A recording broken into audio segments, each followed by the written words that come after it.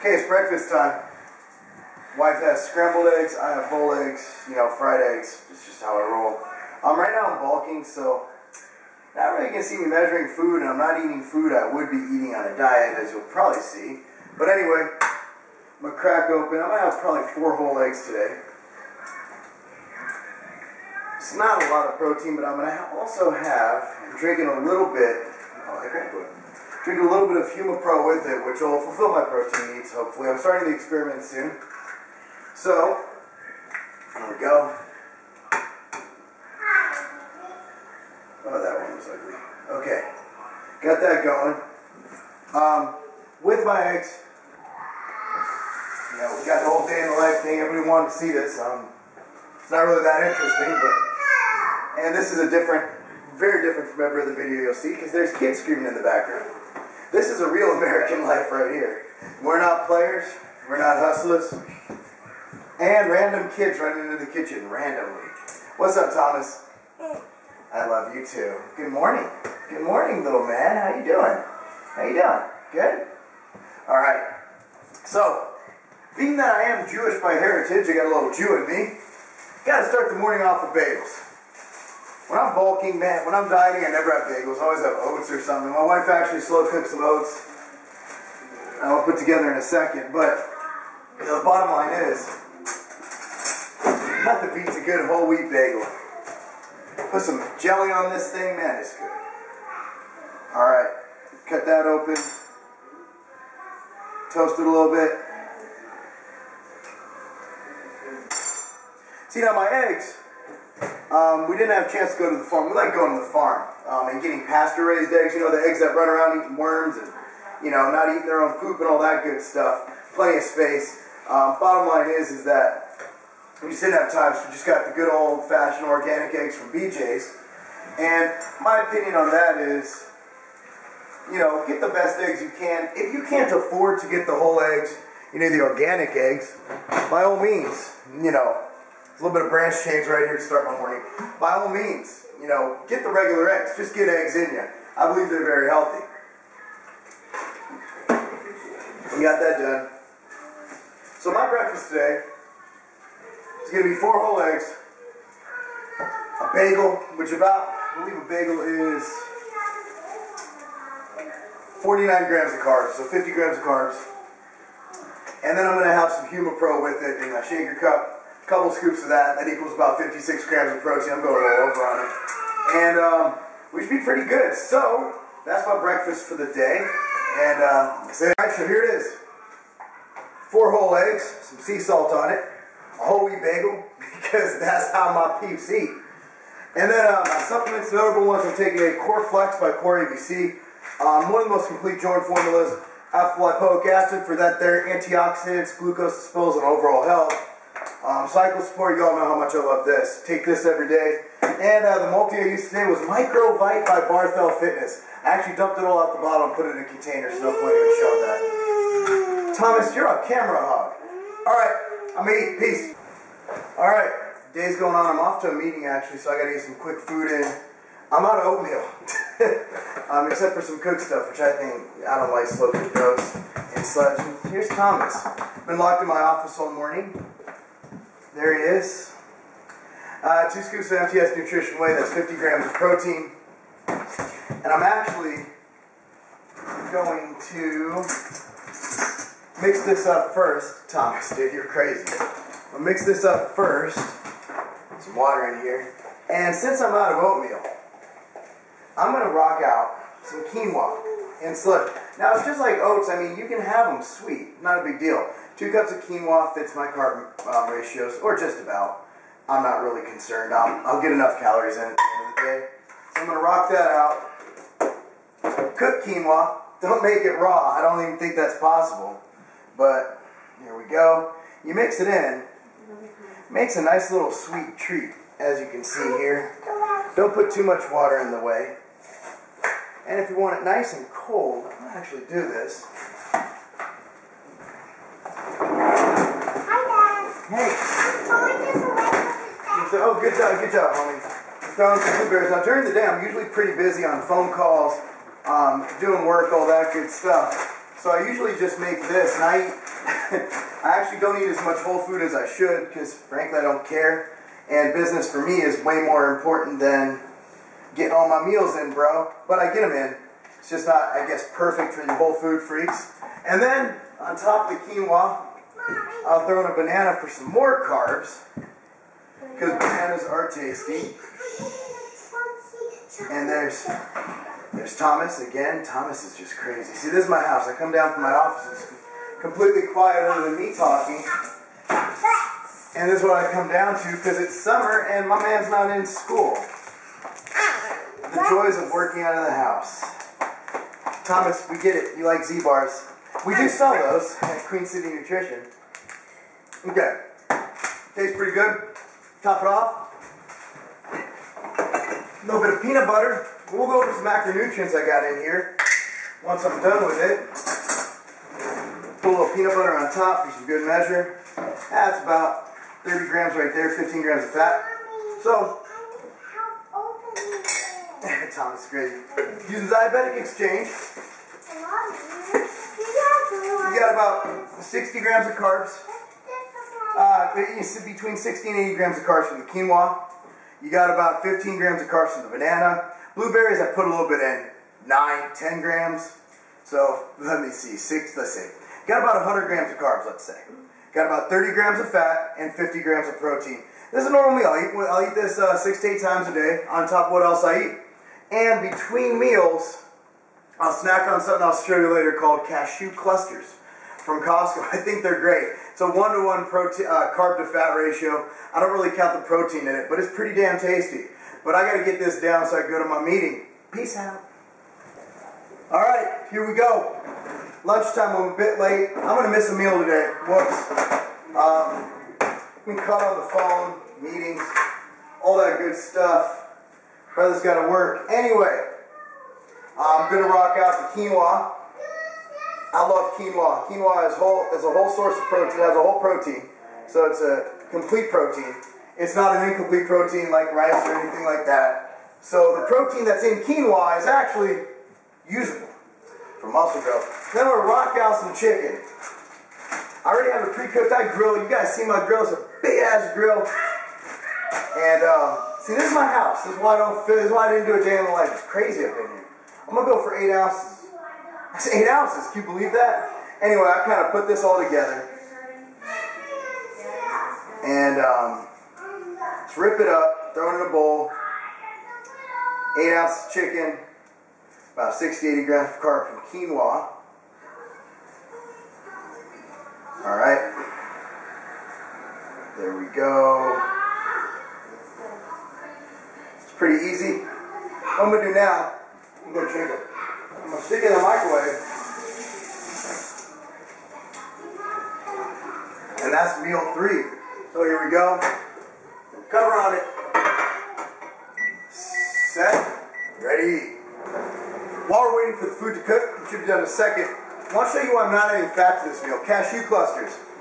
Also has almonds and pumpkin seeds. Buy them at Costco, they're the Kirkland Signature brand. Dude, ingredients, cashews, almonds, cane sugar, pumpkin seed kernels, rice syrup, sea salt, and honey. 11 fat, 11 carbs, 4 protein. These things are the bomb. I eat them between meals. Mmm. It's good. Take my food out. No. This is where Ronnie Coleman and I disagree. KC Masterpiece is not the best barbecue sauce. Sweet Baby Ray's is. And it's off season, I don't care. I'm gonna eat good. Now, throw that on. All right. This might be like Ronnie Coleman, where I might have to get another bottle of this stuff. Anyway, I don't care how much I put on. I just put on enough to flavor it. I am. Wait, hold on. Tribute to Ronnie Coleman right here. I used up a bottle. Sweet Baby Ray's. I got a backup. All right. There we go. Now we're ready to eat. It's meal two. We got about 8 ounces. Well, that's 56 grams of protein, about 60, 80 grams of carbs, whatever fats I get from the cashew clusters, and uh, who cares? Barbecue sauce is awesome. Okay, you all seen me here before. Pre-workout, some uh, Carbolic by Professional Supplements going on. I've been behind on calories today, so I'm gonna load in some calories here. Go a full 50 grams of this pre-workout, 50 grams of carbs. Rock out, I want vanilla. Rock got a little bit. About 20, 25 grams of MTS Nutrition Whey. Again, I'm not exact with everything right now. I'll do that when I prep, but I ain't prepping. Don't take this like, Marc's contest prep diet is this. No, Marc's contest prep diet is a little bit different. But hey, by popular demand. And then, how many scoops? Do I take two scoops of this? I forgot. I got the C4 by Cellucor. Um, one to two scoops. So of course I'm going to go two. Two scoops of the watermelon Cellucor. Tastes great with the vanilla MTS Nutrition Whey. And, there we go. We're shaking it up. Ooh, wearing this shirt by good old J.R. Barthel. Look like a beauty, train like a beast. Got hamstrings today. Post-workout, Celtec and MTS Nutrition Whey already got it mixed up in a container in my bag. And of course, a little bit of vasotropin from Gaspari. Really starting to dig this stuff, man.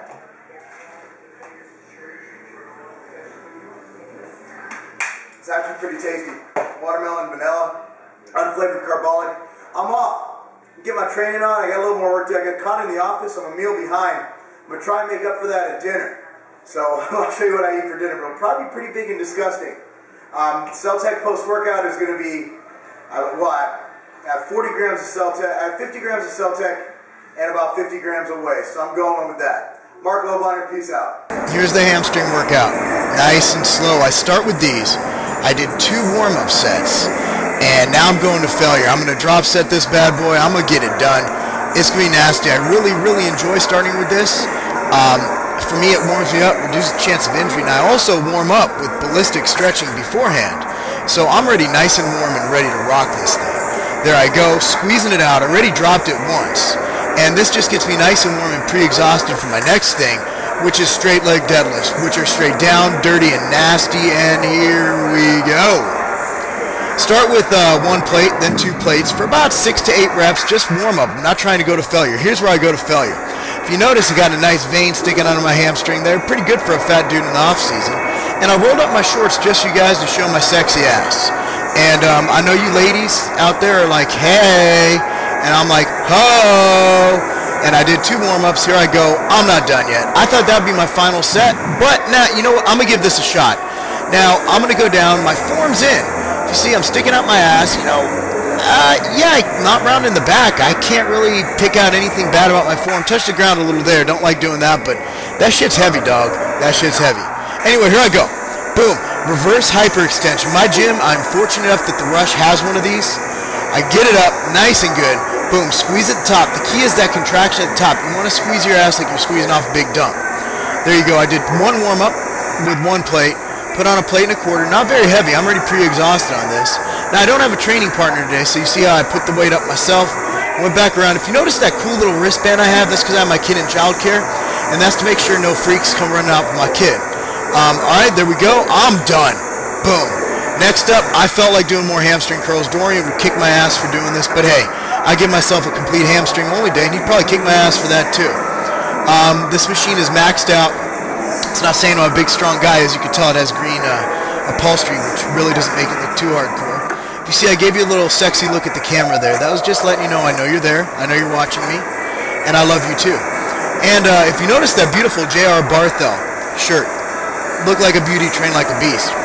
And that's available. If you look in the description below, you'll see that um, you get a deal if you type in machine, you get 10% off that shirt.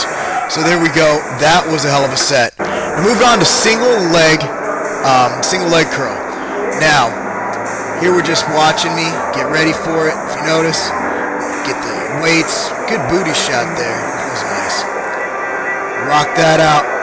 Get in the machine. Get ready to go. Nice.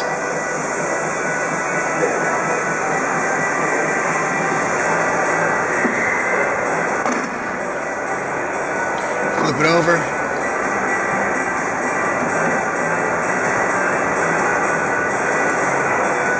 Boom. Nice. There we go.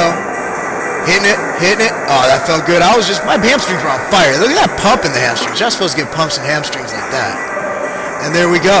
That's it. Boom, ham, calf press. Boom, up, down, up, down. Now again, calves are a normal muscle. My calves suck.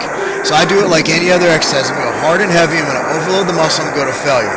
Do one drop set. Not sure what's wrong with that dude right there walking, but uh, but yeah, I don't know if he was trying to make for the camera or if he was just walking like that normally. No clue. No clue, and I don't feel like talking to him to ask him. So there we go. My calves are pretty fatigued. Again, they're small, but uh, they're growing. Damn it, I'll never stop. Seated calf raise. Again, calves, weak point for me, very weak point. So I do my best to, you know, bring them in, to bring them up as much as possible, to make them, uh, make them match the rest of my body and the rest of my legs.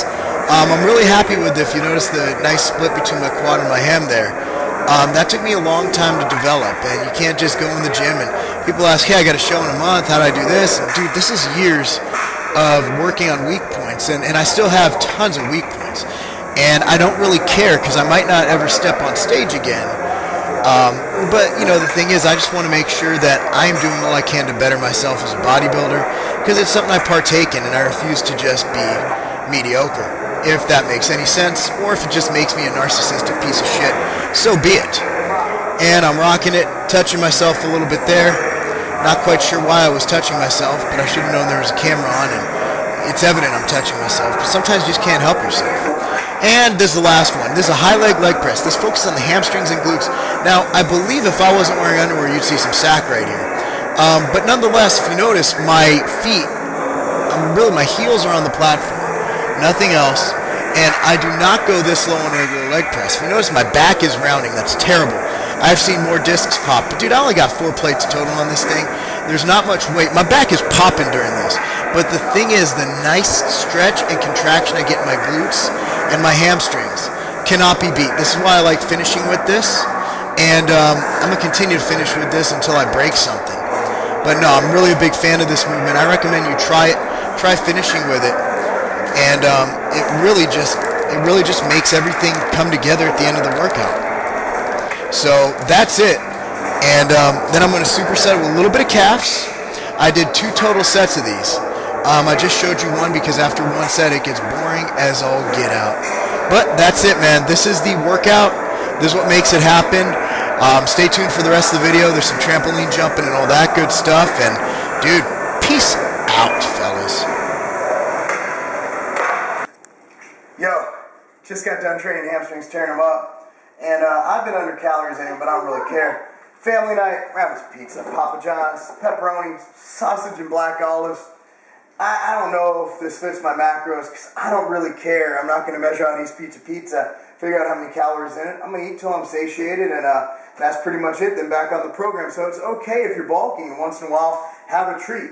And um, I'm sure you guys expect me to eat big piles of chicken, rice, and sweet potatoes. At the end of the day, you know, if you're not competing, indulge a little bit. It's post workout. Peace. All right, last meal of the day. Tired. We'll just have some sludge. As you guys probably noticed, I was severely under my daily calories, but you know what? It happens. I'm not to cry over it.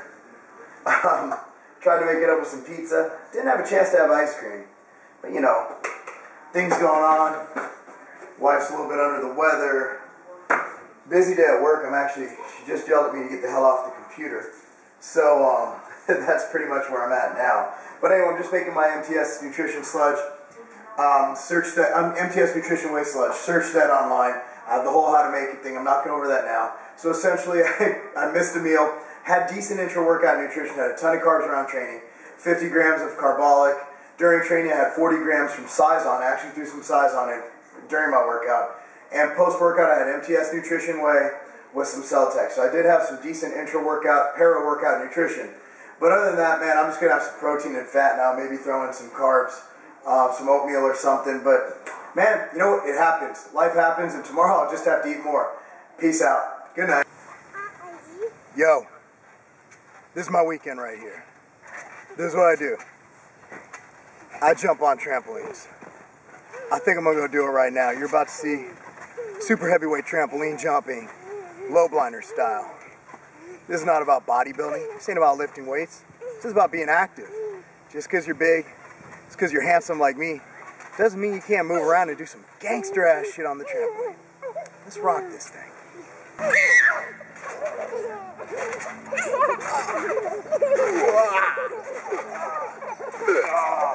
Whoa! Whoa! Uh-oh, we got it down, we got a man down. We got a down. Watch this, watch this, watch this. Ready? Ready? Ready? Ready? The butt flop.